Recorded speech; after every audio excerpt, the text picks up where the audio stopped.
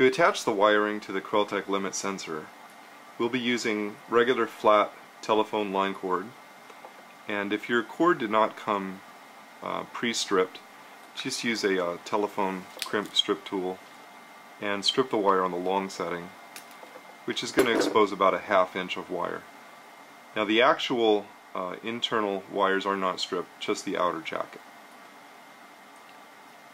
The connectors on the sensor board are miniature insulation displacement wire-to-board connectors.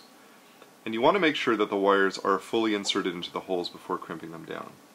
We'll just do um, one at a time. One connector at a time. Make sure all four wires are in the holes. You can kind of feel that it's fully inserted. And take a pair of pliers and press down the connectors.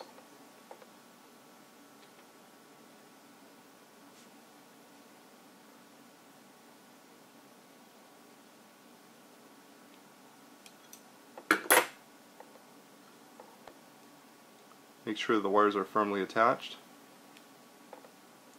and the, the connector caps are firmly pressed down.